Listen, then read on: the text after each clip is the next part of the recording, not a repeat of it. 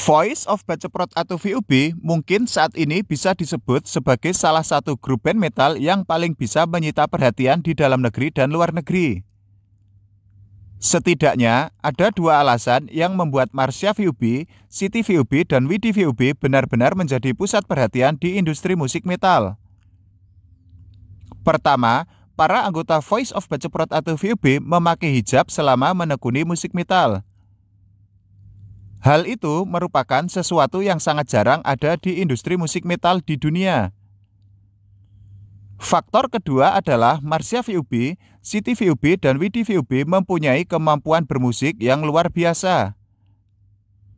Meskipun awalnya diremehkan, Voice of Baceprot atau VUB akhirnya bisa membuktikan kualitasnya sebagai musisi metal. Walaupun pada awalnya dicap sebagai band cover, Voice of Baceprot atau VUB akhirnya berhasil meluncurkan album pertama yang diberi judul Retas. Marsha VUB, City VUB, dan Widi VUB bahkan meluncurkan album itu dalam tur bertajuk Retas American Tour 2023 di sembilan kota di Amerika Serikat. Sebelumnya, Voice of Baceprot atau VUB juga sudah pernah menggelar tur bertajuk Fight, Dream, Believe European Tour di Eropa pada tahun 2021 dan 2022 silam. Selain itu, Marsha VUB, City VUB, dan Widi VUB juga pernah menjadi salah satu pengisi acara festival musik metal Wacken Open Air di Jerman pada tahun 2022 lalu. Nah, peluncuran album retas juga menyita perhatian banyak media di dalam negeri dan luar negeri. Media-media beramai-ramai memberitakan Marsha VUB, City VUB, dan Widi VUB. Salah satunya adalah NME Magazine. Majalah asal Inggris itu melakukan wawancara dengan Voice of Baceprot atau VUB dan artikelnya diterbitkan pada tanggal 7 Agustus 2023 lalu. Dalam wawancara dengan NME Magazine, para anggota Voice of Baceprot atau VUB membahas banyak hal. Salah satunya adalah arti kata retas.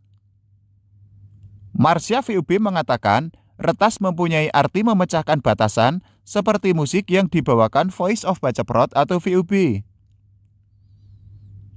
Dalam wawancara itu, Marsha VUB mengaku mendengar banyak orang yang menanyakan genre musik yang dibawakan Voice of Baceprot. Nah, Marsha VUB mengaku tidak mau terpaku dengan batasan musik metal. Menurut Marsha VUB, hal yang paling penting adalah musik yang dibawakan Voice of Baceprot atau VUB sangat jujur. Voice of Baceprot atau VUB juga membahas tentang berbagai hambatan selama mereka menekuni musik metal. Marsha VUB mengatakan dirinya dan teman-temannya pernah disarankan memainkan musik kasidah karena dalam keseharian selalu memakai hijab. Selain itu, Marsha VUB juga mengakui ada orang yang menganggap Voice of Baceprot atau VUB memakai hijab untuk mendapatkan popularitas dengan cepat. Dalam wawancara dengan NME Magazine, para anggota Voice of Baceprot atau VUB juga menceritakan pengalaman ketika mereka menjalani tur di beberapa negara di Eropa pada tahun 2021 silam. Marsha VUB mengatakan saat itu dirinya dan teman-temannya ditanya apakah bisa memainkan musik metal sembari memakai hijab di atas panggung. Selain itu, Marsha VUB, Siti VUB, dan Widi VUB juga ditanya siapa yang meminta mereka memakai hijab. Nah, Jawaban Marsha VUB sangat berkelas ketika mendapatkan pertanyaan itu. Dia menjelaskan band perempuan berhijab memang tidak lazim di Indonesia. Namun, Marsha VUB juga menyebut Indonesia tidak terlalu kaku dengan hal itu. Dalam wawancara dengan NME Magazine, Marsha VUB dan teman-temannya juga menceritakan tentang mereka yang menjadi minoritas. Sebab Marsha VUB, City VUB, dan Widi VUB memainkan musik metal. Padahal mereka selalu memakai hijab dalam kehidupan sehari-hari. Hal itulah yang membuat Voice of Baceprot atau VOB menjadi minoritas di lingkungan sekitar. Meskipun demikian, hal itu tidak membuat Marsha VOB, Siti VOB, dan Widi VOB kendor. Menurut Marsha VOB, hal itu justru menjadi semangat bagi dirinya dan teman-temannya untuk menyampaikan pesan tentang perdamaian dan toleransi.